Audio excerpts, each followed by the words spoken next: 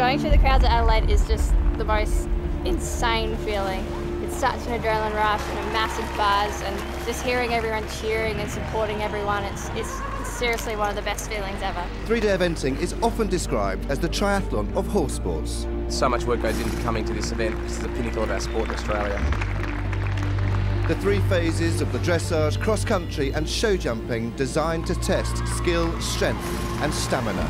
Adelaide's the four stars, Adelaide's definitely the jewel in the crown. The second round of the FEI Classic Series moves to Adelaide, the food and wine capital of Australia. I love the event, the atmosphere is great. The cross country course here, one of the most unique in the world. It's very twisty and lots of trees, so about going fast is really difficult. For the first time, the Equestrian Grand Final comes to Adelaide, providing an opportunity for those with an eye on Rio.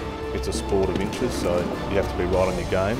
Action is guaranteed. Well, I don't believe it. An enormous round of applause. This is the Australian International three-day event.